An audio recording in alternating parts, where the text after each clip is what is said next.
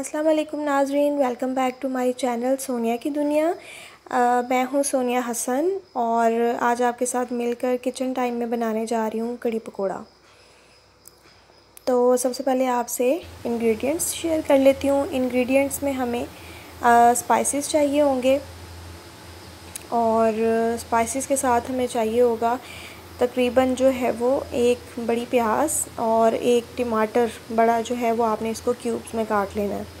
Spices में आपने तीन से चार हरी मिर्चें छोटी छोटी काट लेनी है। एक टीस्पून काली मिर्च, एक टीस्पून गरम मसाला वन टेबलस्पून लाल मिर्च वन टेबलस्पून नमक वन टेबलस्पून हल्दी। कड़ी पत्ता चाहिए होंगे ज़ीरा और सूखा धनिया और अदरक लहसुन वन टेबलस्पून दही तकरीबन मैंने आधा किलो लिया है और उसमें हल्का सा पानी ऐड करके, क्योंकि दही काफ़ी थिक होता है तो उसको आपने बीट करके पतला कर लेना है। अलहदा से एक बाउल लेना है और उसमें तकरीबन जो है वो एक कप आपने बेसन डालना है। बेसन एक कप डाल के उसके अंदर आपने एक से डेढ़ कप पानी ऐड करना है, जिसको आपने क्या करना है कि बीटर के साथ या चम्मच के साथ या जैसे भी, जो भी चीज़ अवेलेबल हो, आपने डेढ़ कप पानी ऐड करके उसको अच्छी तरह से आपने मिक्स कर लेना है। बीटर के साथ आपने उसको बीट कर लेना है, ताकि उसके अंदर बिल्कुल भी कोई गुटली बाकी ना रहे और बेसन बिल्कुल पानी के साथ मिक्स हो जाए। हाँ जी बीटर के साथ आपने इसको अच्छी तरह से मिक्स कर लेना है।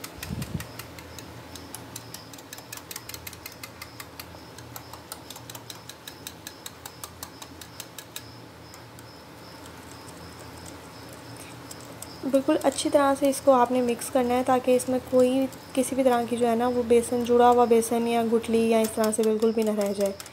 नहीं तो जब आप फिर इसको चूल्हे पे पकाएँगे तो वो जो बेसन है ना या तो आ, उसकी गुटलियाँ सी बन के पक जाएँगी या फिर वो कच्चा ही रह जाएगा कड़ी के अंदर ना। इसको अच्छी तरह से आपने जो है वो पीट कर लेना है।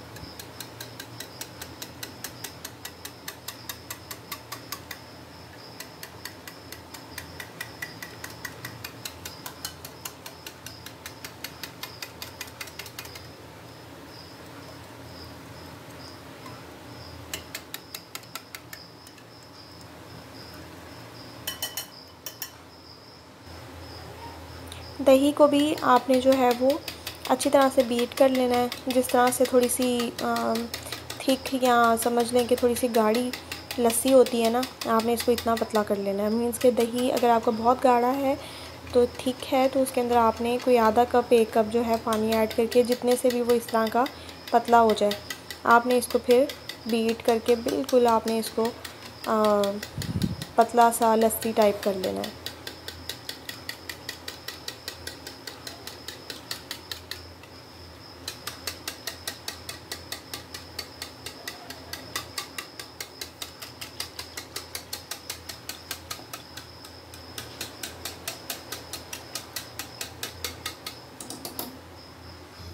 बीट करने के बाद आपने बर्तन लेना है। बर्तन में आपने वही जो दही बीट किया हुआ है वो ऐड कर देना है आपने। और उसमें आपने जो है वो बेसन जो आपने अभी पानी में उसको बीट किया था उसको आपने क्या करना है एक दफ़ा दोबारा हिला लीजिएगा। दोबारा से बीट कर लीजिएगा इसमें डालने से पहले ताकि ये ना ना हो कि बेसन जो है वो नीचे कहीं उसकी तह में बैठा ना रह जाए बर्तन की। तो उसको मिक्स करके दोबारा से एक बार और फिर आपने उसको जो है वो आ, बर्तन में डालना है पकाने के लिए। इसको ऐड कर देंगे और फिर आपने दोबारा से जो है वो आ, मिक्स करने के लिए इसको आपने जो है वो दोबारा से बर्तन में बीट कर देना है। बीटर के साथ ना इसको हिला दीजिएगा एक बार ताकि ये मिक्स हो जाए। लस्सी जो हमारी बनी हुई थी ना जो दही था हमारा उसके अंदर जो बेसन में हमने पानी को बीट किया हुआ था ना आ, उस पानी और बेसन को जो हमने बीट किया हुआ था उसको मिक्स कर देना है इसमें हमने। और इसको याद रखिएगा मीडियम फ्लेम पे आपने पकाना है। नहीं तो ये बहुत जल्दी उबल जाएगी, उबल के ये गिर जाएगी। इसमें आपने जो हमारा प्याज और टमाटर था, बारीक उसको काटना है आपने क्यूब्स में और उसको आप ऐड कर देंगे।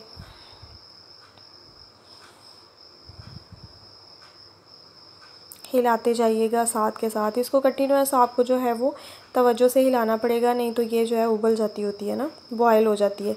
सारे इंग्रेडिएंट्स इसमें ऐड कर लेंगे। इंग्रेडिएंट्स दोबारा देख लें। तीन से चार हरी मिर्चें कटी हुई हमारे पास जो है वो वन टीस्पून काली मिर्च वन टीस्पून गरम मसाला वन टेबलस्पून लाल मिर्च वन टेबलस्पून नमक वन टेबलस्पून हल्दी वन टेबलस्पून अदरक लहसुन और कड़ी पत्ता, ज़ीरा और सूखा धनिया, ये इसमें ऐड कर दिया है हमने। और इसको अच्छी तरह से आपने चम्मच से हिला लेना है। अब आपने इसको मीडियम फ्लेम पे पकने देना है ताकि जो प्याज और टमाटर वगैरह हैं वो गल जाएँ और जो हमारा बेसन था वो अच्छी तरह से दही के साथ पक जाए। तो इसको हिलाते इसलिए रहेंगे क्योंकि अगर आप इसको नहीं हिलाएँगे तो ये गिर जाएगा बर्तन में से बॉयल हो के क्योंकि अगर आपको लगे कि ये थोड़ा सा थिक है ना तो इसके अंदर आपने एक या डेढ़ ग्लास मतलब जितना आपको रिक्वायर्ड हो, उतना आपने इसमें पानी ऐड कर लेना है, क्योंकि हमें इसको बहुत ज़्यादा थिक भी नहीं करना पका कर आपने इसको ज़रा पतला ही रखना है, क्योंकि इसमें पकोड़े ऐड करने होते हैं। पकोड़े तैयार करने के लिए आपने अलहदा बाउल में एक कप आपने बेसन लेना है। उसमें मैंने एक छोटी टमाटर, एक छोटी प्याज, एक छोटा आलू, तीन से चार हरी मिर्चें और पालक के थोड़े से पत्ते उनको मैंने बारीक काट कर इसमें ऐड कर दिया है। उसमें मैंने जो है वो पानी थोड़ा सा जिस तरह, जितना थिक आप रखना चाहें, पकोड़े आप बनाते होंगे घरों में, उसमें पानी आपने ऐड करके उसको मिक्स कर देना है। गरम मसाला चाहिए होगा आपको वन टीस्पून नमक, वन टीस्पून आपने इसमें ऐड कर देना है और वन टीस्पून आपने इसमें लाल मिर्च ऐड कर देनी है। ये मैं आपको एक कप बेसन के पकोड़े अगर बनाने हो तो वो बता रही हूँ। पानी इसमें उतना ही ऐड करना है आपने जितना आपने इसको जो है थिक या जितना पतला करना है आपने इसको, उसकी मुनासबत से आप इसमें पानी ऐड कर देंगे। मिक्स कर लेंगे इसको अच्छी तरह से। और इधर हमारी कड़ी को जोश आ रहा है उसको हिलाते जाएँगे, साथ के साथ थिक भी हो रही है। इसको इतना पतला रखना है कि इसमें जो है पकोड़े डलें तो ये गाढ़ी ना हो ज़्यादा। ऑयल हमारा गर्म हो चुका हुआ है। पकोड़े हम अपने फ्राई कर लेंगे। जितनी देर में हमारे पकोड़े फ्राई हो जाएँगे, उतनी देर में हमारी जो है वो कड़ी भी तैयार हो चुकी होगी।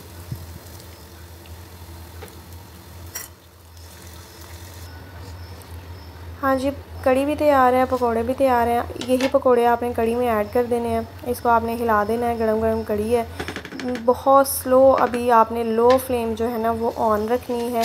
और इधर दूसरी तरफ़ आपने तड़का लगाने के लिए आपने तकरीबन जो है वो तीन से चार टेबल स्पून आपने ऑयल लेना है। उसमें आपने एक छोटी प्याज जो है उसको आपने काट के, बारीक काट के आपने डाल देना है। सूखा धनिया और ज़ीरा जो है वो डाल देना है। मैं तड़का कड़ी को इसी चीज़ का लगाती होती हूँ।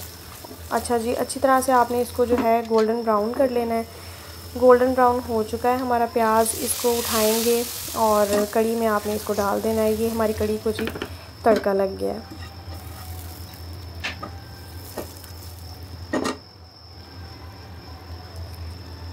हाँ जी, नाजरीन कड़ी पकौड़ा तैयार है हमारा और उम्मीद करती हूँ कि आपको मेरी रेसिपी पसंद आई होगी। अगर आपको रेसिपी पसंद आई है तो मेरी वीडियो को लाइक कीजिएगा और रेसिपी ट्राई कीजिएगा। कमेंट में अपना फ़ीडबैक भी ज़रूर दीजिएगा। मेरे चैनल को सब्सक्राइब करना मत भूलिएगा। बेल आइकन भी ज़रूर प्रेस कीजिएगा ताकि आपको मेरी नई आने वाली वीडियोस भी मिलती रहें। अपना बहुत ख्याल रखिएगा। अल्लाह हाफिज़।